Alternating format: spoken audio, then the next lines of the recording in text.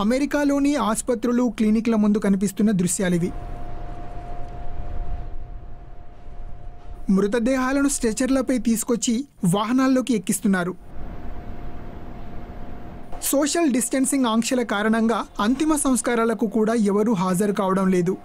దాంతో ఒంటరిగానే ఖననాలు చేస్తున్నారు.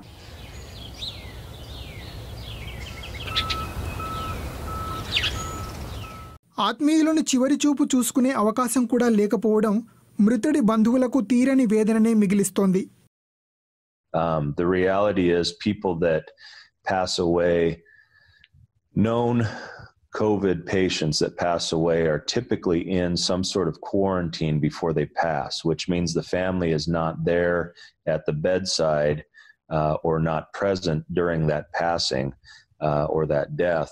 And then they come to the funeral home and are told, sorry, we can't have a funeral at this time, it makes a very uh, difficult and emotional time. Covid నైన్టీన్తో చనిపోయిన రోగుల శరీరాలను ప్రజలు ముట్టుకోవద్దని center for disease control and prevention సంస్థ చెబుతోంది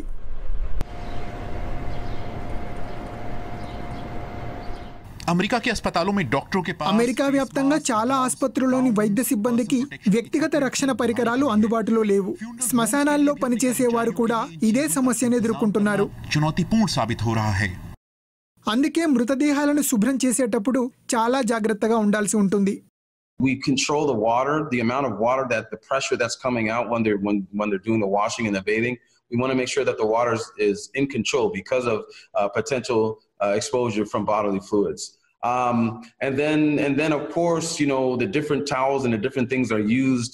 Those have to be sanitized at a, in a different way, so we separate them from the common or the other other items that need to be cleaned.